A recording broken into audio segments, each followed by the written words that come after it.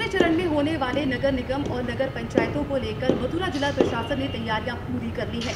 आपको बता दें कि 1 नवंबर से 7 नवंबर तक होने वाले नामांकन को लेकर की तैयारियाँ पूरी कर ली गई हैं और सुरक्षा की अगर बात की जाए तो सुरक्षा के भी इंतज़ाम चाक चौबंद है। जिसको लेकर जिला प्रशासन ने नामांकन स्थल की ओर जाने के लिए जगह जगह बैरिकेटिंग और पुलिस व्यवस्था की भी पुख्ता इंतज़ाम किए हुए हैं। आपको बता दें कि प्रत्याशी को नामांकन में कोई भी परेशानियों का सामना ना करना पड़े, इसको लेकर भी पूरी व्यवस्था की गई है।